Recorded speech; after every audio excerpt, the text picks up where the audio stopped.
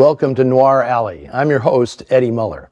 Let me start off by saying that no actor from Hollywood's classic era was more ahead of his time than Robert Mitchum. He's the star of today's feature, Where Danger Lives, made at RKO in 1950. Mitchum was instinctive and intelligent, with a totally original style and attitude. Despite an early Oscar nomination as Best Supporting Actor in the story of G.I. Joe, few critics took Mitchum seriously. He had nothing in common with the stagey performance styles of the 1930s or the soul searching method school that was becoming the rage as Mitchum became a star. Now, that stardom came while Mitchum was under contract to RKO, so it's no surprise that between 1946 and 1953, he compiled quite a resume of noir films, a genre where his screen persona was a perfect fit. He played guys who were laconic and sardonic and chronically in peril, always running afoul of murderous mobsters and vengeful vixens. For all his easygoing virility, Mitchum's stock in trade in films like The Locket, Out of the Past, His Kind of Woman, and Angel Face was playing the sap, a guy typically trapped by a series of bad decisions, usually involving women.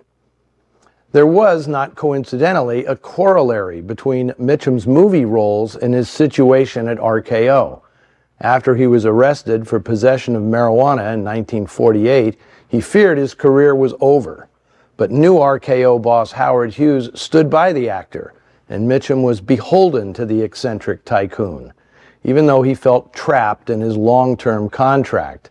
He told people he was a tall dog on a short leash. They give me just enough rope to climb the fence, but if I try to jump, I'll just dangle.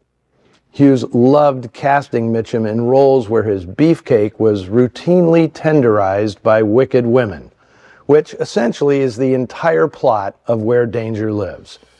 This is a lovers on the lam story in which one of the lovers is certifiably crazy. That'd be Faith Domergue as the mystery woman. With her, the mystery has always been how to pronounce her name, which I long thought was Domergue, only to learn that in the Creole culture she comes from, it's Demurg. She insisted, however, it be pronounced Demure. One thing is for sure, she could top any story Mitchum had about being trapped in a contract with Howard Hughes. Domergue had been a Hughes protege since 1940 when she was still a teenager. Yet Where Danger Lives, released in November of 1950, was her first major role to make it to the screen. More on Miss Domergue's travails and triumphs after the movie. The script is by the redoubtable Charles Bennett from a story by Leo Rosten. Bennett scripted several of Alfred Hitchcock's best early films, including The Man Who Knew Too Much, The 39 Steps, and Sabotage, while Rosten had a hand in top-notch noirs such as The Dark Corner and Lured.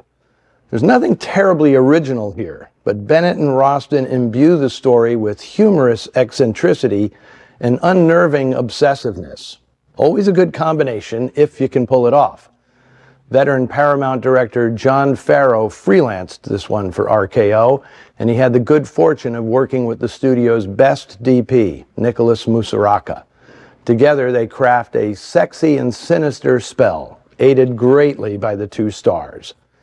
Adding to the film's pedigree is a terrific turn by Hollywood's MVSP, Most Valuable Supporting Player, Claude Rains, a man whose mere presence earns every movie he's in an additional star in its rating. Also on hand is Maureen O'Sullivan, Mrs. John Farrow, in outfits considerably more demure than what she wore as Jane in the Tarzan movies that made her famous. Now, if you haven't seen this one before, you are about to find out where danger lives.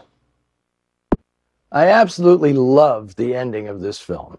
The direction, camera work, editing, score, and especially the performances create one of the quintessential noir climaxes. It may not be one of the most original films in the genre, but it's perfectly done and totally satisfying.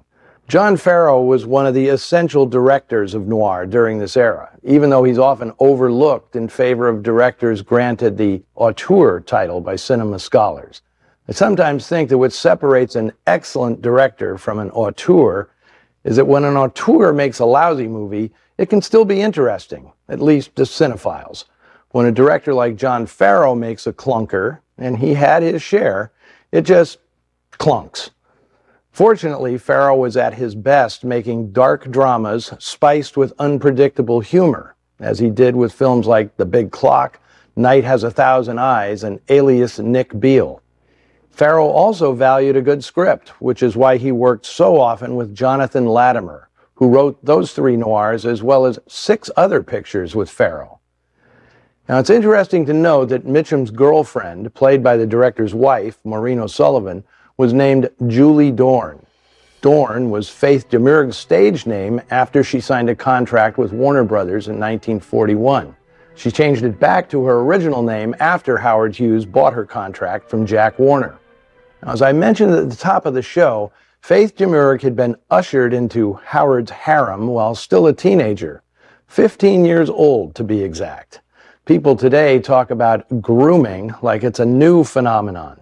Hughes spent most of his adult life grooming young women for stardom. Domergue was supposed to be the sultry sex bomb successor to his most famous protege, Jane Russell. But all she did was languish in Hughes's plush and peculiar form of captivity. Even though Domergue married band-leading philanderer Teddy Stauffer, Hughes still acted like he owned her. He spent four years fashioning the film Vendetta as a star-making vehicle for Domergue, but in the middle of the endless production, she dumped Stauffer and fled to Buenos Aires with Argentine director Ugo Fregonese, whom she later married and had two children with. That finally doused Howard Hughes's interest. Vendetta, which burned through four different directors, Max Ophuls, Preston Sturges, Stuart Heisler, and Mel Ferrer, was finally released a month after Where Danger Lives to tepid reviews and meager box office. But Domergue enjoyed a revival a few years later, becoming one of the original Scream Queens in a trio of 1950s sci-fi horror cult classics, This Island Earth, it came from beneath the sea and the cult of the cobra. Her career lasted into the 1970s and included an autobiography titled My Life with Howard Hughes. I hope you enjoyed Where Danger Lives. If you want to see film noir on the big screen, just like folks saw it back in 1950, you've still got a week left to check out my Noir City Film Festival, now playing at the Egyptian Theater in Hollywood. Presented in collaboration with the American Cinematheque this marks my 25th year hosting Noir at this venerable movie palace. We're celebrating with an eclectic lineup featuring an assortment of international noirs alongside some glorious greatest hits, like next weekend's screening of the original Nightmare Alley in a 35 millimeter nitrate print. Hope I see you there. Next week, I'll be back here at Bar 355 with one of the best noirs of the 1950s. Pushover from 1954 marks the return of Fred MacMurray to film noir, as well as the big screen debut of one of Hollywood's biggest stars, Kim Novak. Until then, see you in the shadows.